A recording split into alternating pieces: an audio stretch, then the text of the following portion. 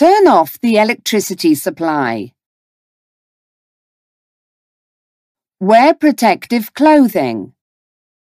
Do not walk through moving water.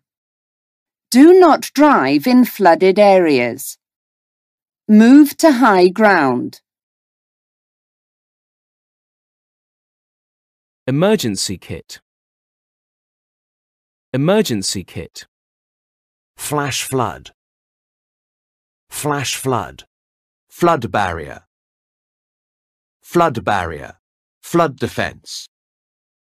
Flood defense. Shallow. Shallow.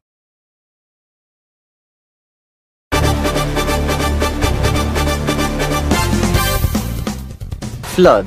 Stay alert.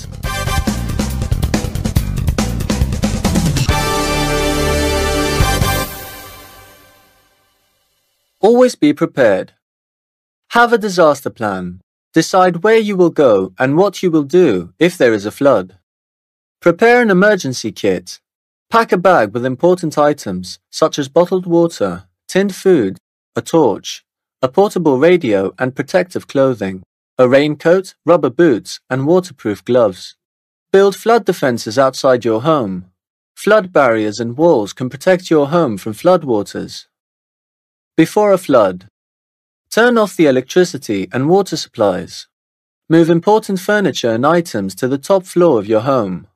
Use sandbags to prevent water from entering your home.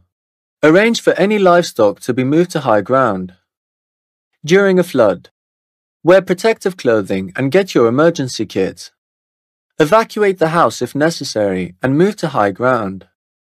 Listen to the weather forecast using a radio. There will be frequent flood updates and advice on what to do next.